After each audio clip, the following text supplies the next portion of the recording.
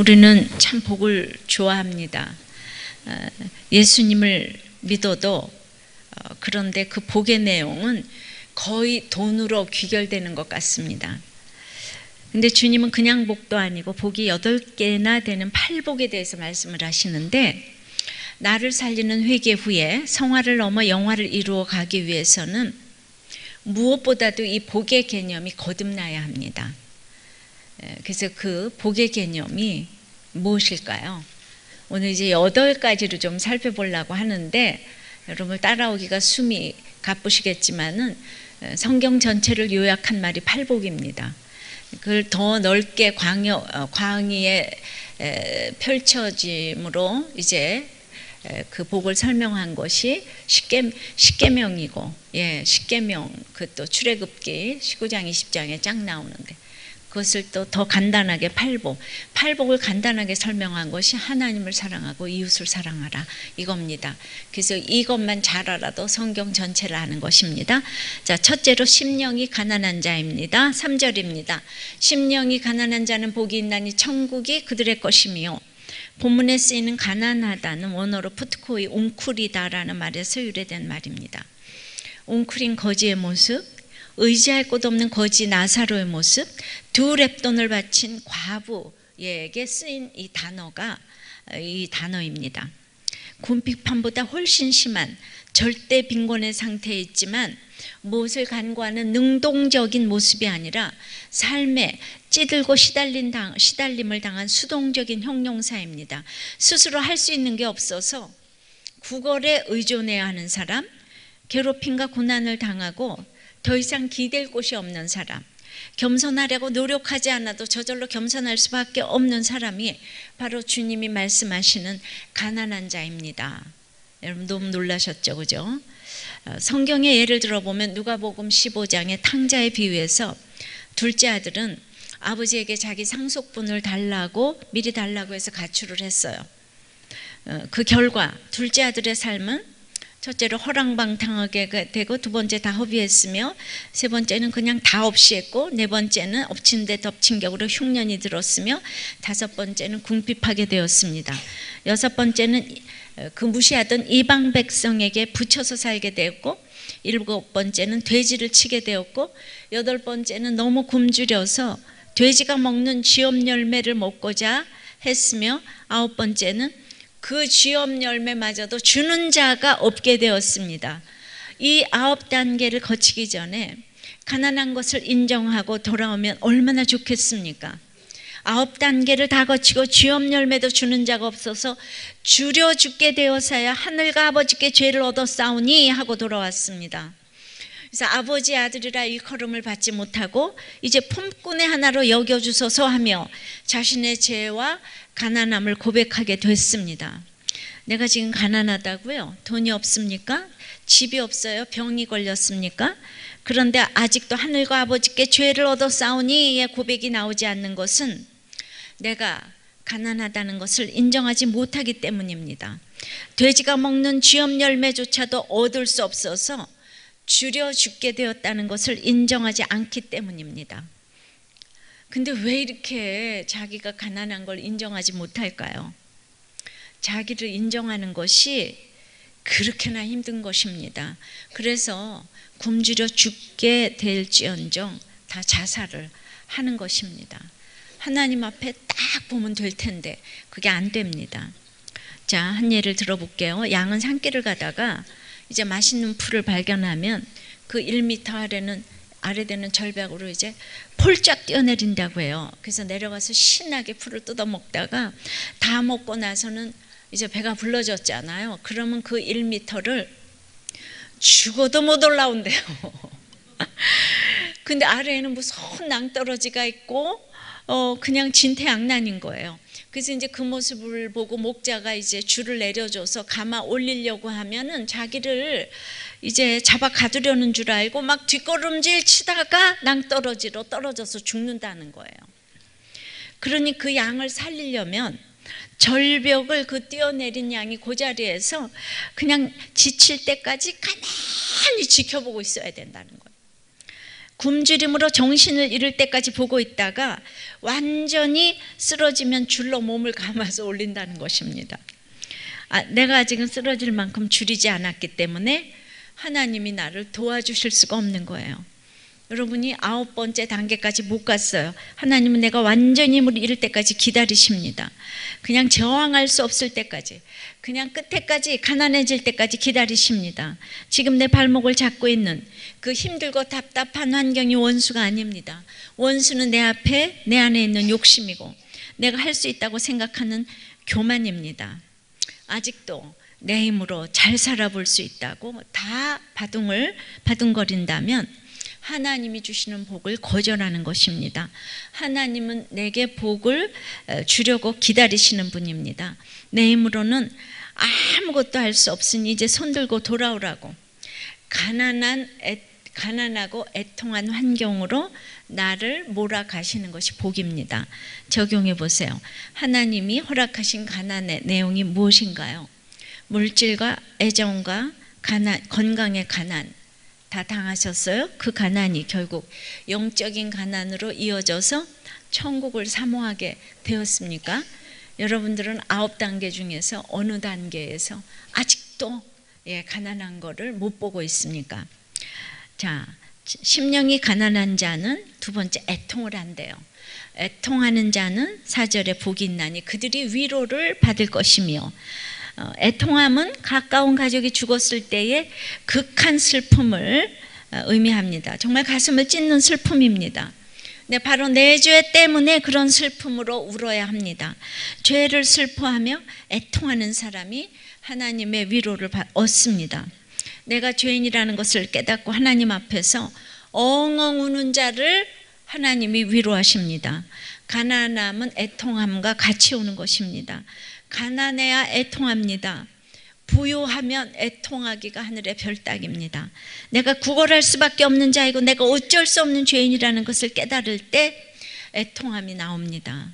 오라 나는 곤고한 사람이로다 이 사망의 몸에서 누가 나를 건져내랴 하는 사도 바울의 고백이야말로 진정한 그리스도인의 애통이고 탄식입니다. 하나님의 복, 하나님의 위로가 최고입니다. 환경이 아니라 내 죄 때문에 가난하고 애통해야 하나님의 위로를 받을 수가 있습니다. 하나님의 위로를 받는 자는 그 누구도 어떤 사건도 문제가 되지 않습니다.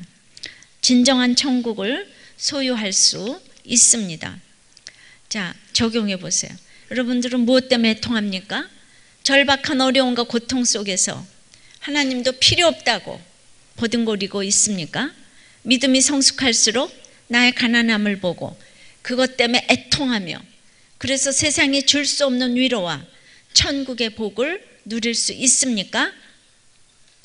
가난하고 애통한 자는 세 번째 온유한 자로 나갑니다. 온유한 자는 복이 있나니 그들이 땅을 기업으로 받을 것이며 온유한 자는 어떤 자입니까? 착한 사람입니까? 얼굴이 온유하고 표정과 말씨가 온유하다고 해서 온유한 사람이 아닙니다. 온유를 문자적으로 해석하면 짐승을 길들일 때 쓰는 말로 길들여져 주인 뜻대로 사는 것을 의미합니다. 내가 짐승만도 못하다는 것을 날마다 인정하고 그래서 하나님께 길들여지고 하나님의 뜻대로 살고자 하는 사람이 온유한 사람입니다. 그러면 온유한 자가 땅을 기업으로 받는다는 것은 무슨 뜻일까요? 부동산 등기를 내 앞으로 해준다는 뜻일까요? 오직 온유한 자는 땅을 차지하고 풍부한 화평으로 즐기리로다 그랬는데 땅을 차지하고 화평을 즐기는 것이 땅을 기업으로 받는 것입니다.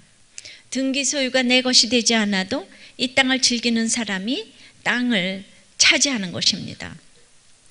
제가 자존심이 있을 때는 누가 저를 초청을 해줘도 내가 별장이 없으면은 별장 가진 사람이 초청을 해줘도 가기가 싫은 거죠. 그러니까 그게 온유한 자가 못 돼서 얼굴은 온유하게 보일지 몰라도 어, 제 속이 온유하지 못하니까 여유가 없어요. 땅을 차지하지 못해요. 근데 지금은 제가 어, 여유가 있어졌기 때문에 이 세상 땅이 다 내 건데 우주가 다 내 건데 그냥 시간이 없어 못 가는 거죠. 예, 수금지 하목터 천여 명이 다 내 건데 예, 시간이 없어 못 가는 거. 완전히 그랜드 캐년도 알래스카도 그냥 하와이도 와이키키도 다 내 건데 고수부지만 해도 내 건데 내가 정말 요새 시간이 없네요. 예, 정말 모든 땅이 내 것이에요. 그러니까 이것은 무엇인가? 이렇게 예, 여유가 있다 이런 뜻입니다. 그래서 이제 성경의 인물 중에 온유함으로 유명한 사람은 모세입니다. 이 사람 모세는 어, 민수기 12장 3절에 온유함이 지면의 모든 사람보다 더하더라 하고 성경이 증거합니다. 근데 이 말씀이 어떤 상황에서 나왔는 줄 아십니까? 앞서 민수기 11장에서 백성들이 모세를 돌로 쳐 죽이려고 할 때 나온 게 아니에요. 예, 민수기 12장 1절 2절에 모세가 구스 여자를 취하였더니 그 구스 여자를 취하였으므로 미리안과 아론이 모세를 비방하니라 그들이 이르되 여호와께서 모세야만 말씀하셨느냐 우리야도 말씀하지 아니하셨느냐 하매 여호와께서 이 말을 다 같이 들으셨더라. 예. 모세의 친형제인 미리안과 아론이 비방을 할 때 이제 그 그의 온유가 지면에서 더하다는 말씀이 나왔잖아요. 그러니까 우리가 온유함을 갖기 가장 힘든 것이 가정이고 형제고 부부지간이고 이거를 모세를 통해 보여주십니다. 백성들은 애굽에서 고기 먹던 생각하면서 불평하고 지금 모세를 죽이려고 합니다. 그 상황에서 형제들이 모세를 도와도 시원찮을 판에 도리어 비방을 했습니다. 그럴 때 온유하기가 얼마나 힘들겠습니까? 하지만 이때 모세가 입을 딱 다물었다는 것이 중요합니다. 민수기 12장 2절 마지막에 여호와께서 이 말을 들으셨더라. 그러셨잖아요. 하나님이 다 들으실 것이기 때문에 모세는 어, 참는 게 아니에요. 그냥 하나님을 바라고 기대하는 사람은 누가 비방을 해도 반응하지 않고 입을 다물 수 있습니다. 땅을 차지한다는 것은 이렇게 영육간에 여유가 있는 것입니다. 아, 내가 듣는 것보다 하나님이 들었어요. 얼마나 얼마나 자신감이 생깁니까? 할렐루야. 이것이 온유입니다. 우리는 날마다 죄인이라고 고백하면서도 누가 나의 죄를 지적하는 걸 못 들어줍니다. 누가 날 비방할 때 내가 옳다, 네가 옳다 할 것 없이 아, 하나님이 들으시겠구나. 어, 그러고 가만히 있으면 됩니다. 나를 오해해서 비방한다고 해도 하나님이 풀어주실 때까지 딱 기다리면 됩니다. 그걸 못 기다리고 내 지위와 능력으로 상황을 바꾸려고 해서는 안 됩니다. 온유는 자신의 지위 뒤에 자기를 숨기지 않는 것입니다. 진정한 온유는 그래서 성품이 아닙니다. 예. 어떤 사람은 다른 사람과 좋은 관계를 가지려고 무조건 져주는 사람이 있습니다. 그것은 온유가 아닙니다. 연약함입니다. 늘 돈을 풀어서 다른 사람들에게 나를 증명하려는 거 그것도 온유가 아닙니다. 연약함입니다. 진짜 온유는 진리를 붙드는 것이고 진리를 붙들기 위해서 순교까지도 하는 강함입니다. 온유한 사람은 그야말로 외유 내강한 사람입니다. 겉으로 드러나는 태도가 아무리 부드러워도 십자가를 경험하지 않은 온유는 가짜입니다. 십자가를 경험한 온유는 내게 많은 재주와 은사와 능력과 지위와 권세가 있을지라도 예수님의 능력만 나오도록 하는 것입니다. 그래서 누가 나를 판단해도 불편해하지 않는 것입니다. 억울한 소리를 들어도 나서서 해결하지 않고 기다리는 것입니다. 적용해 보십시오. 착한 사람이라는 말을 들으면서 내가 온유하다고 착각하지 않습니까? 성품이 아닌 십자가로 처리된 온유. 하나님 때문에 인내하고 순종하는 이 온유가 있나요? 예. 성품인가요? 믿음인가요?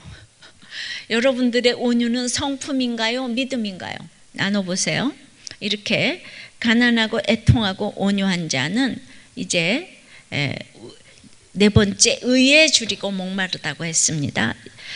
음, 의에 줄이고 목마른 자는 복이 있나니 그들이 배부를 것이며 의는 하나님의 뜻이 내게 이루어지는 것입니다. 세상이 다 틀려먹어서 노동자 권리를 위해서 노조는 있어야 돼. 저런 나쁜 사람들은 다 감옥에 보내야 돼. 이런 게 의가 아닙니다.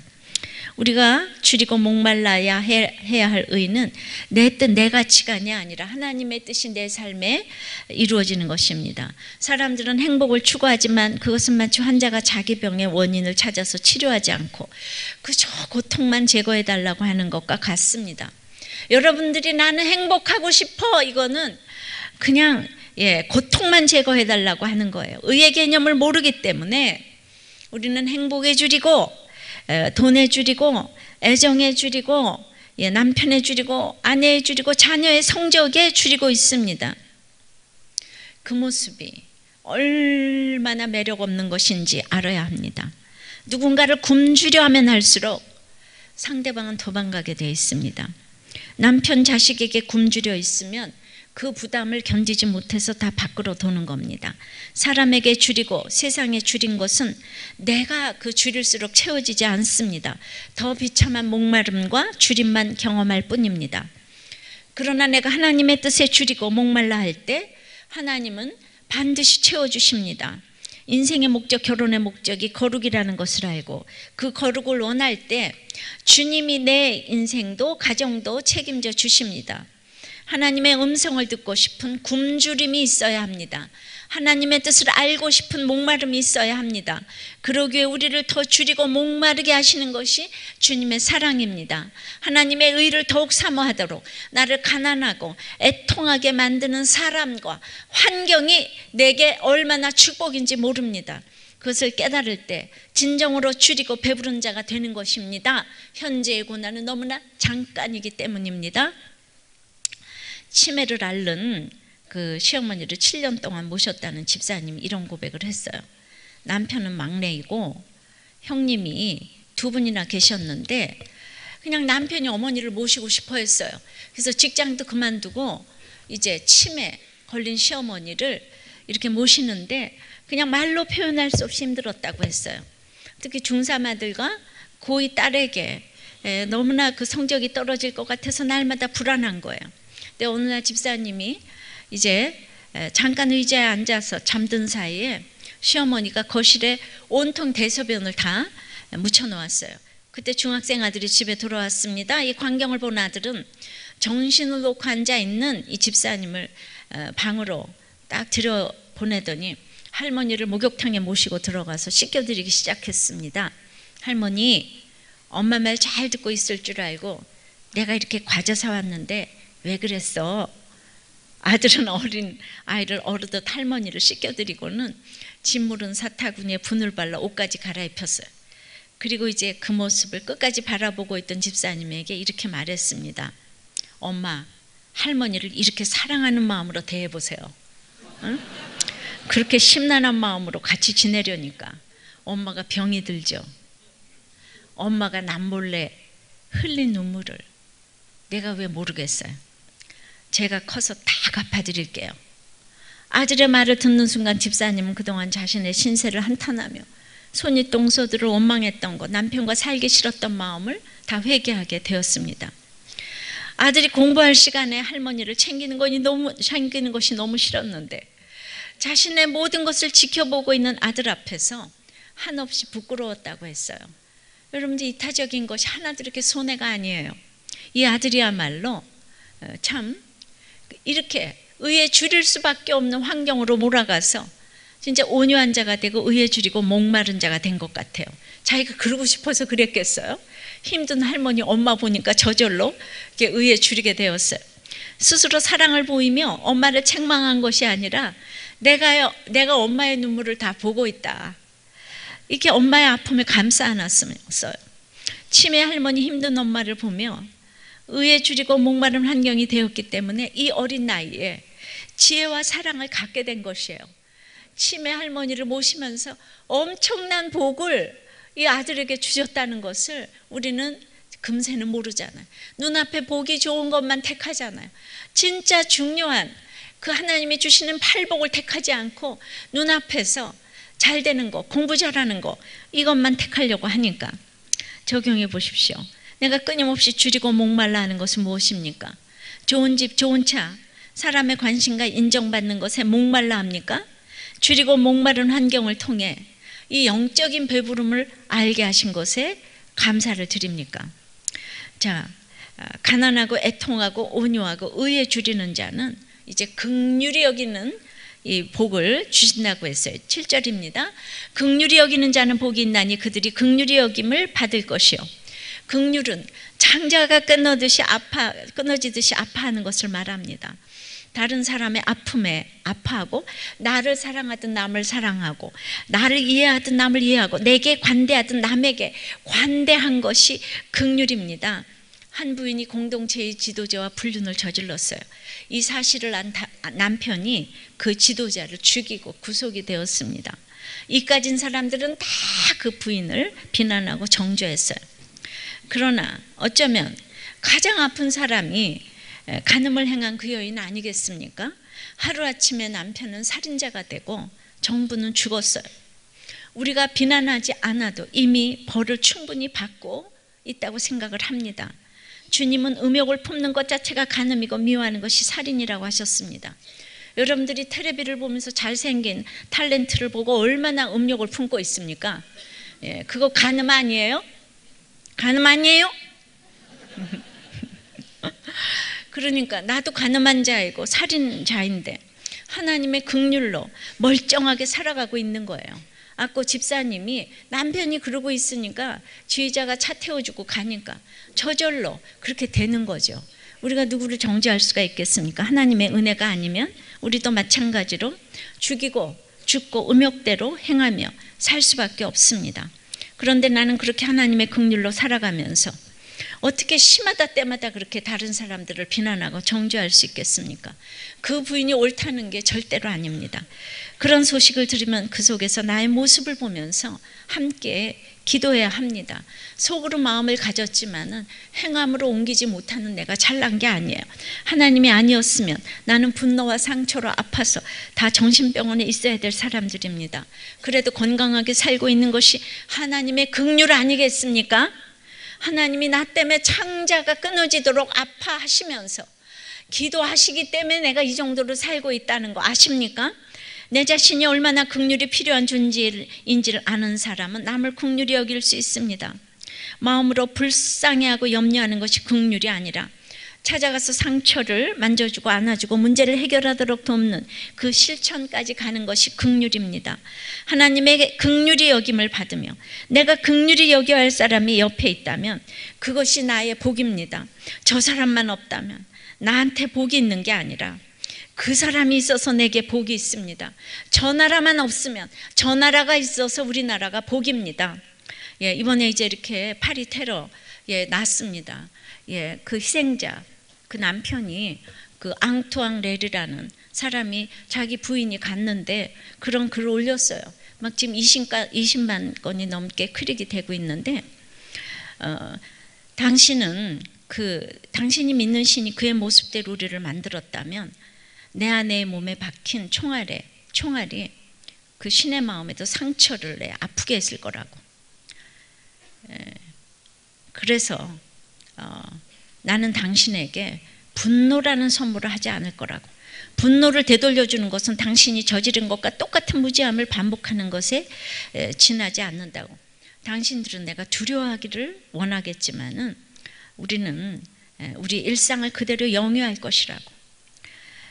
나는 곧 내 아내와 우리 가족이 그대는 절대로 오지 못할 자우려운 영혼이 숨쉬는 천국에서 다시 만날 것을 알고 있기 때문이라고. 나와 내 아들, 이제 우리는 둘만 남았다고. 우리는 이제 이 세상에서 가장 강한 군대라고.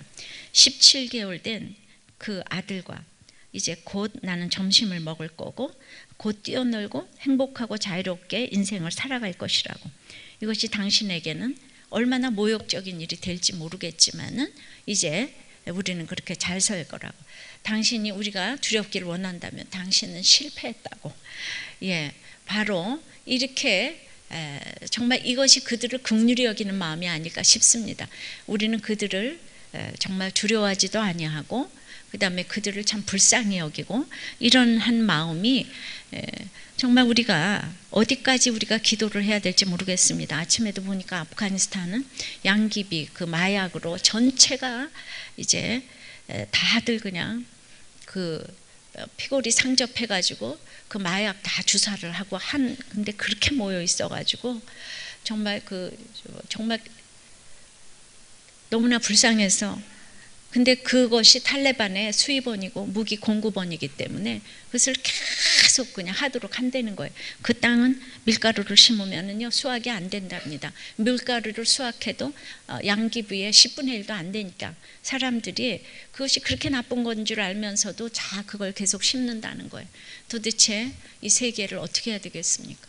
그렇게 전부 모여가지고 다 양귀비 피고 있어요. 굴 같은데 모여가지고 다 피골이 상접해서 예, 주, 주여 어찌하오리까? 어찌해야 되겠습니까? 하나님은 어, 이 민족, 이 세계를 어떻게 해야지 될까요? 적용해 보겠습니다. 비록 가족이라도 인연을 끊고 싶은 연약한 식구가 있습니까? 예, 우리는 탈레반 막 없어졌으면 좋겠는 거예요. 그러니까 이거를 통해서 우리가 나를 회개한다는 거, 우리가 거기까지 가야 되는데 연민을 느끼지만 찾아가거나 만나기는 싫어서 돈만 붙이는 얄팍한 긍휼을 보이지는 않나요? 죽으시는 순종으로 내게 베푸신 주의 긍휼을 생각하며 몸으로 실천하는 긍휼을 보여줘야 할 것은 무엇입니까? 아무것도 할 수 없어서 정말 애통밖에 안 됩니다. 자, 가난하고 애통하고 온유하고 의에 줄이고 이제 긍휼이 여기는 자는 이제 마음이 청결하다고 합니다. 어, 마음이 청결한 자는 복이 있나니 그들이 하나님을 볼 것이요. 마음이 청결하다는 것은 욕심 없는 빈마음이나 행위의 청결만을 의미하지 않습니다. 다윗이 유부녀 바세바와 불륜을 행하고 계획을 계략을 세워서 그 남편 우리아를 죽게 하고 가는가 거짓말과 살인을 행했습니다. 행위로는 청결하다고 할 수 없는 사람입니다. 털어서 먼지 안 날 사람이 없지만 당시 누군가 도청을 했다면 다윗이 얼마나 걸릴 일이 많았겠습니까? 당장 왕위에서 물러날 만한 엄청난 스캔들입니다. 그러나 다윗은 마음이 청결한 자였습니다. 나단 선지자가 와서 죄를 지적했을 때 즉시 죄를 인정하고 고백했습니다. 베세바 사건을 통해 모친이 죄악 중에서 나를 잉태했다고 눈물로 침상을 적시며 웃을 초로 나를 정결케 해달라고 자신의 죄가 씻어, 씻어지기를 간구했습니다. 자기 죄를 고백하며 흘리는 눈물이 우리의 마음을 청결케 합니다. 나는 그 정도는 아니야. 나는 잘못한 게 별로 없어. 이런 사람이 청결한 사람이 아닙니다. 어떤 부도덕과 비리를 저질렀어도 그 죄를 인정하고 회개하는 사람이 청결한 사람입니다. 청결한 자는 하나님을 본다고 했습니다. 예수 그리스도의 보혈로 죄 씻음을 받고 거듭난 사람은 믿음의 눈으로 하나님을 보게 됩니다.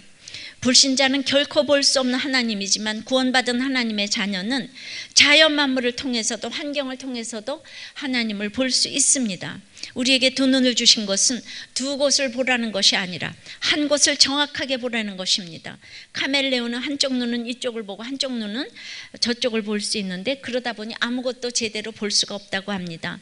사람을 사랑할 때도 양쪽을 쳐다보고 두 마음을 품는 것은 배신입니다.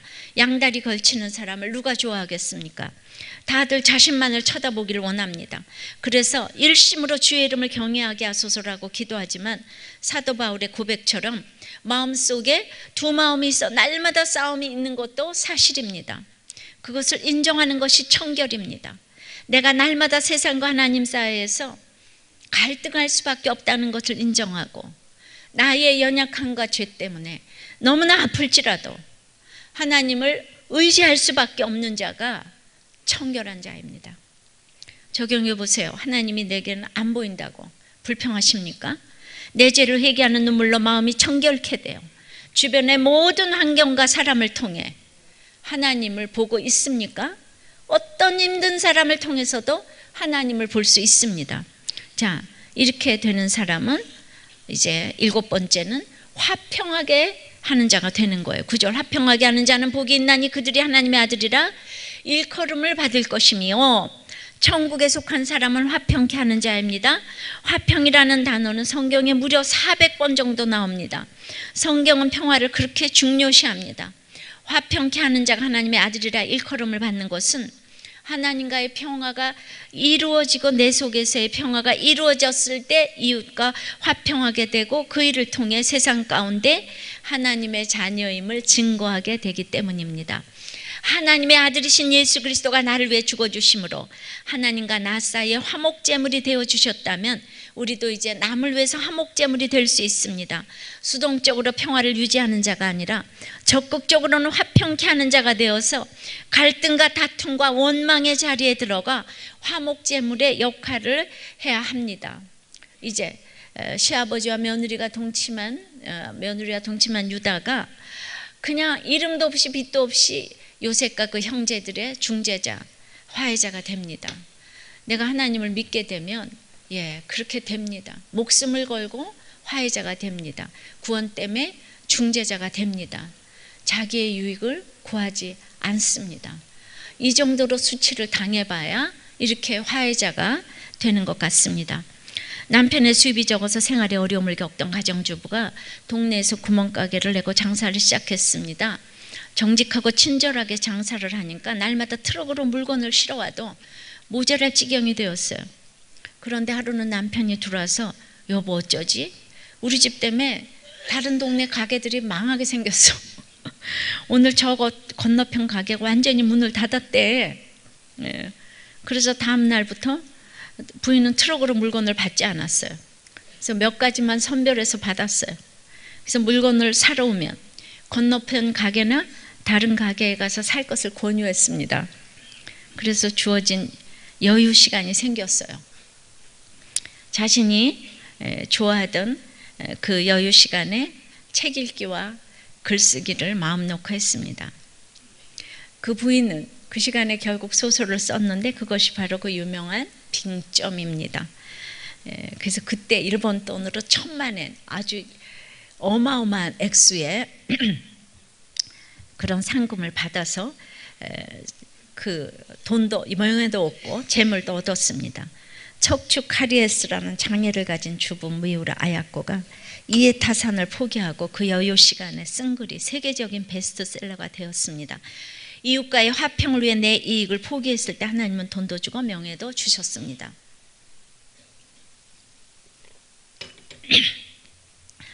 그럼 우리들 교회 찾아오는 사람도 이 교회 가세요. 저 교회 가세요. 제가 좀 그래야 되지 않을까요? 예. 제가 이해타산으로 그렇게 한다면 예, 정말 그래도 됩니다. 여러분들은 여기서 다 회복이 되면은 얼마든지 다른 교회 찾아가셔도 됩니다. 예, 여러분들의 급한 불만 끄시면 예, 정말 저는 여러분들이 가정을 중수하기를 바라고 또 이제 죽지 않고 살기를 바라기 때문에 날마다 현수막도 그럼에도 살아냅시다. 사라져서 고마워요. 이런 것만 예, 써놓는 우리들 교회이기 때문에 여러분들이 해결되면 정말 가는 사람 안 맞고 오는 사람 안 막습니다. 정말 이 마음이 그 마음이에요. 네, 우리도 교회는 지금 현재는 살아나야 되기 때문에 모든 것은 이것이 꼭 옳은 것만은 아니야. 항상 구속사적으로 그것을 생각해야 합니다. 결국은 아마 여러분들이 이제 다 돌아가시게 돼 있을 것이라고 생각합니다. 우리들 교회는 그런 교회예요. 다 왔다가 돌아가는 교회예요. 날마다 이런 팔복의 설교를 하는데 누가 붙어 있겠습니까? 조금 해결됐다 하면 다 돌아가게 돼 있습니다. 그래서 정말 또 어떻게 생각하면 너무나 성숙한 교회라고 생각하고 예. 그래서 여러분들 누가 이렇게 간다 그래도 너무 놀라지 마시고 어, 또갈 사람이 가나 보다 그렇게 생각하시기 바랍니다. 적용해 보세요. 가정과 직장 내의 갈등에서 하나님을 믿는 사람으로서 인내와 성김을 보이며 화평을 이룹니까? 인간적인 의리나 이해 타산 때문에 간에 붙었다 쓸개에 붙었다 하는 그 비겁한 화평은 아닌가요? 자, 그래서 가난하고 애통하고 온유하고 의에 줄이고 극률이 여기고 마음이 청결한 자는 화평케 되고 이제 마지막으로는 어, 의를 위하여 어, 박해를 받은 자의 복이 있다고 해요. 10절입니다. 의를 위하여 박해를 받은 자는 복이 있나니 천국이 그들의 것입니다. 내가 주님 때문에 가난하고 애통하고 온유하고 의에 줄이고 목마르고 극률이 여기고 청결하게 되고 화평케 되면 뭐가 기다리고 있다고요? 주님의 말씀을 듣고 팔복되는 팔복대로 사는 사람에게 기다리고 있는 것은 핍박입니다. 팔복대로 살기 시작하면 잘했다고 칭찬해 주는 게 아니라 본격적인 욕과 핍박과 악한 말이 기다리고 있는 것입니다. 그러니까 마하티마 깐디가 이그 팔복을 너무 좋아하는데 이 부분에서 성경책을 집어던졌대요. 이제 다른 거는 불교나 유교나 이렇게 말로는 비슷해 보이잖아요. 근데 결국 그렇게 살았더니 핍박이 오더라. 예. 자, 부부가 함께 교회 다니지만 남편 때문에 힘들어하는 부인이 있었어요. 부인은 평소 자신을 무시하는 남편의 말과 태도로 인해 우울증을 앓았고 날마다 무기력하게 늘어져서 시체처럼 살았습니다. 이 부인이 우리도 교회에 와서 살아나기 시작했어요. 시체 같은 사람이 얼굴도 환해지고 목장에서 교제도 잘하고 건강해졌습니다. 그래서 신이 나서 남편에게 교회 얘기를 하니까 남편은 너 그 교회 가더니 광신도 됐구나. 교회 가지 마. 그냥 우울증으로 누워 있어. 누워 있는 게 더 낫다. 예, 예, 비록 교회 다니는 사람이지만 뭔가 영적인 어? 열등감이 이렇게 느껴질 때 부인이 믿음으로 기쁘고 즐거워졌는데도 이렇게 핍박을 했습니다. 다 당해본 건 아니지만 육체적으로 고문을 당하고 거짓말에 당하고 악한 말을 듣고 누명을 쓰는 것까지는 그래도 참을 수 있을 것 같아요. 그런데 그런 핍박 속에서 12절처럼 적극적으로 기뻐하고 즐거워한다는 건 너무 어렵지 않겠습니까? 그런데 하나님은 기뻐하고 즐거워하라고 하십니다. 예. 내가 믿음 때문에 핍박 당할 때 즐거워하는 거 이게 천국이고 부활함, 부활입니다.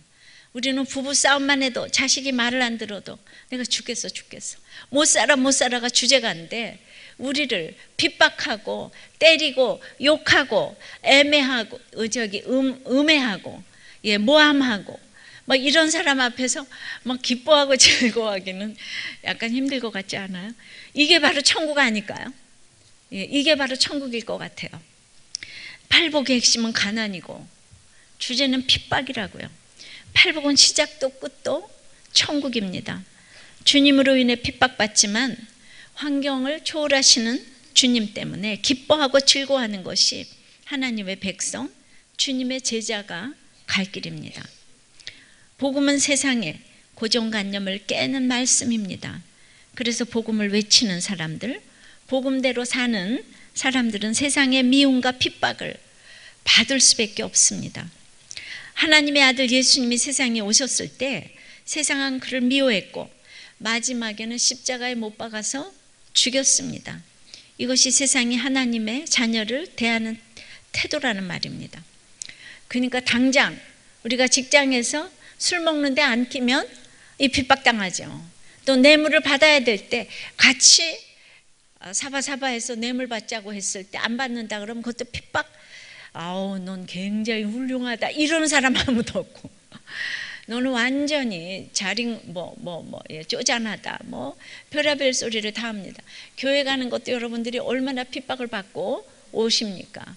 예, 자 적용을 해보세요. 크리스찬으로서 뇌물을 거절하고 술자리를 거절해서 따돌림에 핍박을 받은 적이 있습니까? 믿음 때문에 참고 양보했다가 미련하다는 그 악한 말을 들었습니까?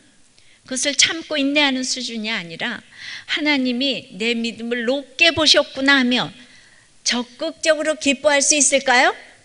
예, 여러분들이 왕따를 당했을 때 적극적으로 기뻐할 수 있을까요?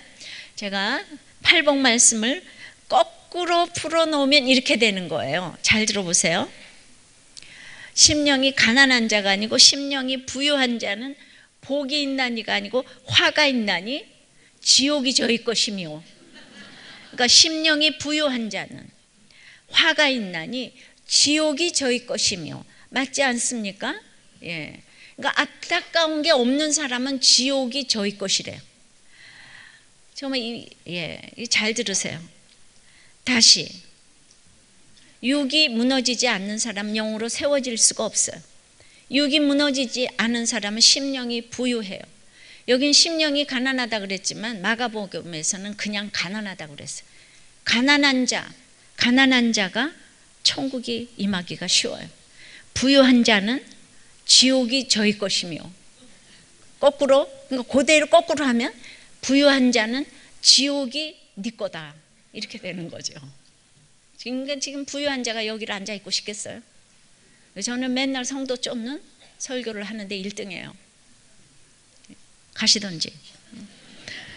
죄 때문에 애통하지 않는 자는 화가 있나니 위로받지 못할 것이며 내가 남편이 죽고 위로를 받을 수 있는 이유는 내 죄 때문에 애통하지 않으면 남편이 살아나서 위로가 되는 게 아닙니다. 내가 위로를 받는 건 내 죄 때문에 애통하셔야 돼. 혈기 부리는 자는 화가 있나니 땅을 얻지 못해요. 그래서 날마다 혈기 부려요.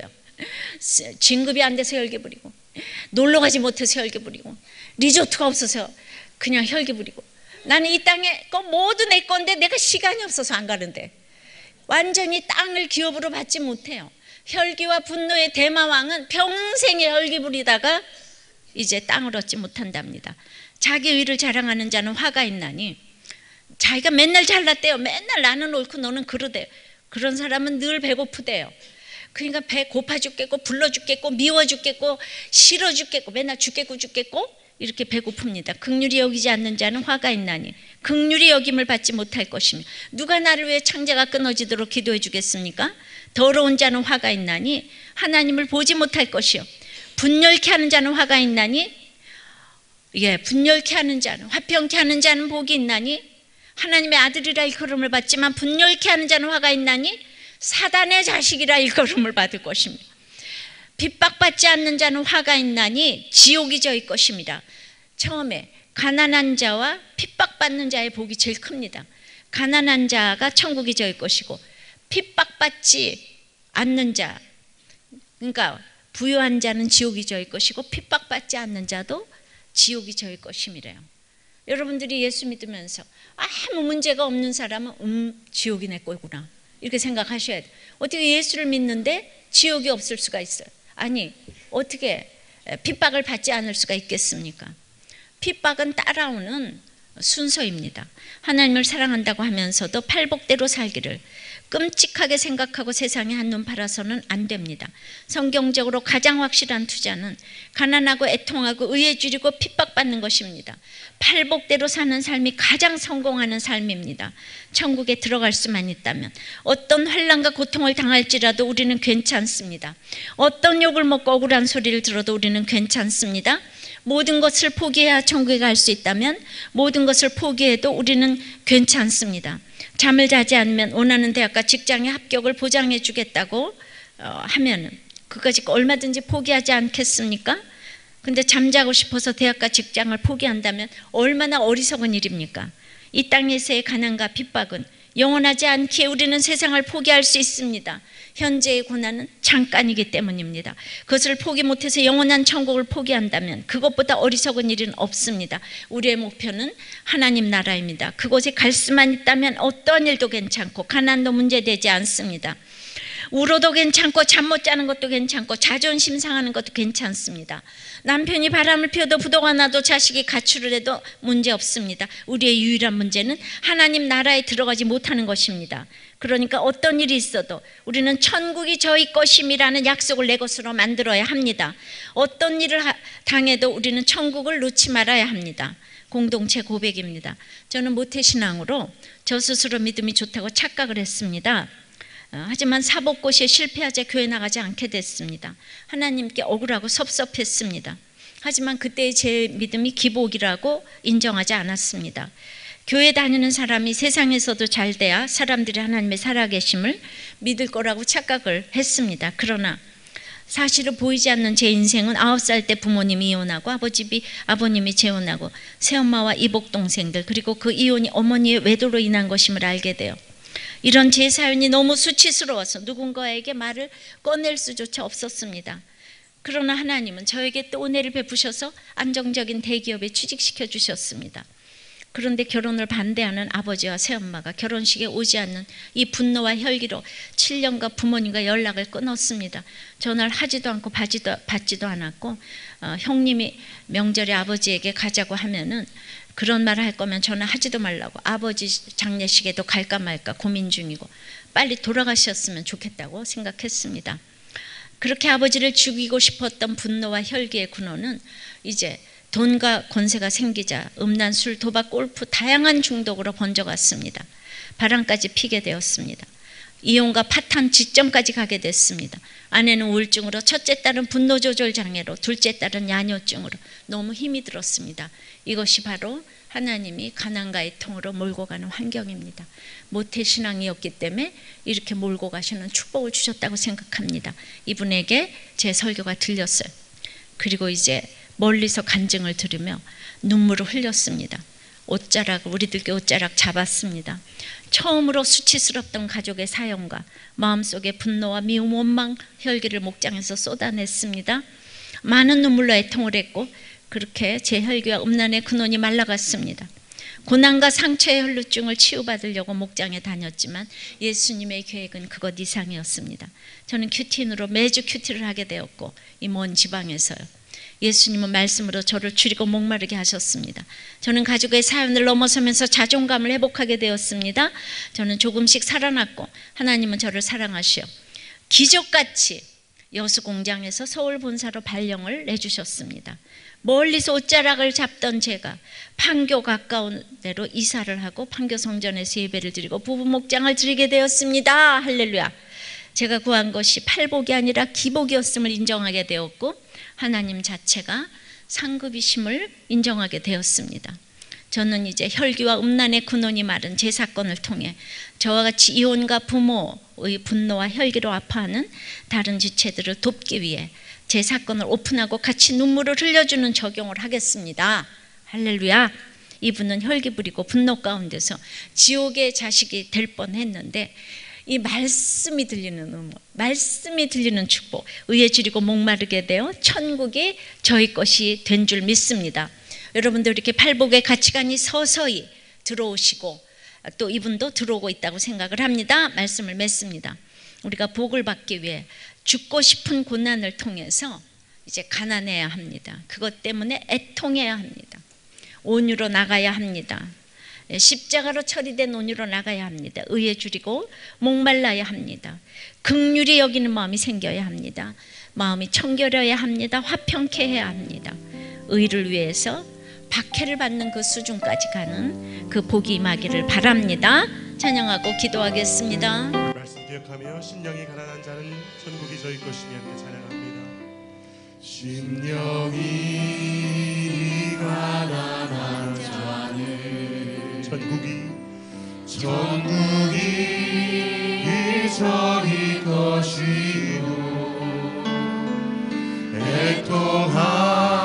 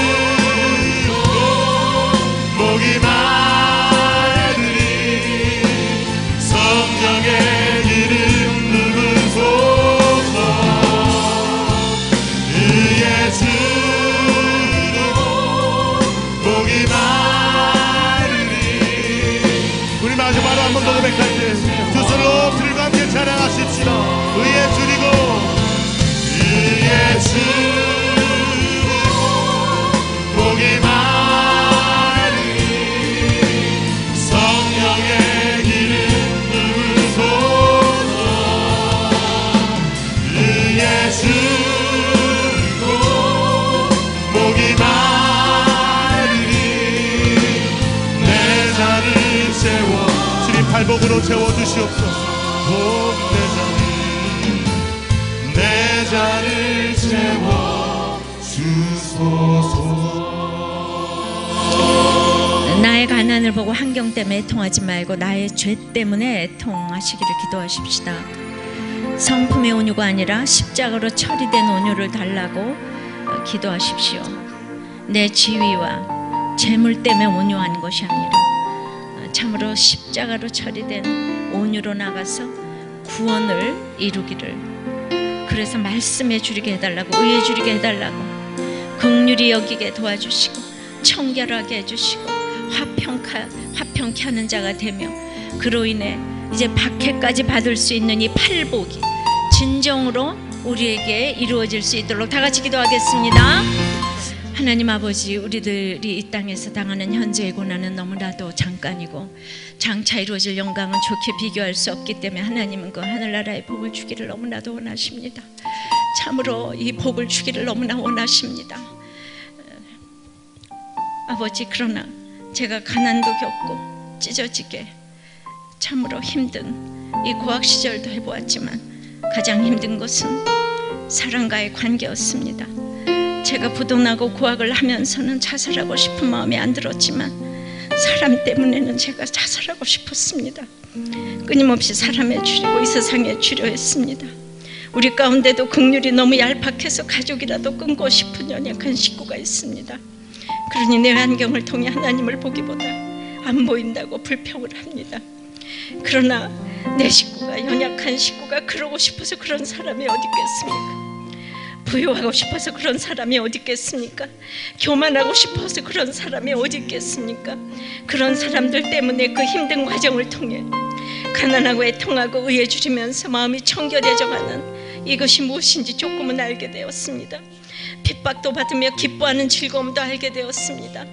남들은 저 여자가 언제 무너질까 하면서 시끄러 봤겠지만은 저는 하루로 또 안 무너진다고 생각해 본 적이 없습니다. 날마다 오늘이라도 무너질 수 있다는 것을 생각했기에 하나님 앞에 눈물을 흘리면서 여기까지 왔습니다. 그래서 제가 이 가난하고 애통할 수밖에 없어서 날마다 눈물을 흘리며 오니 도리어 사람들이 달라지고 이혼을 그치고 어떤 것으로도 안 되던 사람이 말씀으로 치유가 되는 것을 볼 때 제가 이것이 바로 천국이 저희 것이라는 말씀인 것이 깨달아졌습니다. 그 기쁨이 무엇과 비교할 수 없는 것이었습니다. 내 배우자가 자녀가 부모가 하나님을 모르기 때문에 나를 핍박한다면 그것을 감당하게 하여 주시옵소서. 천국을 소유하게 이 땅에서 어떤 일을 당해도 뒤로 돌아가지 않겠습니다. 천국에 갈 수 있다면 그 어떤 것도 문제가 되지 않습니다. 어떤 말을 들어도 어떤 일을 당해도 천국을 놓지 않겠습니다. 이런 팔복을 누리면서 우리 모두 천국에서 만나는 여러분들이 되기를 기도합니다. 그렇게 천국에서 만났으면 좋겠습니다. 아멘. 예수님 이름으로 기도하옵나이다. 아멘. 아멘.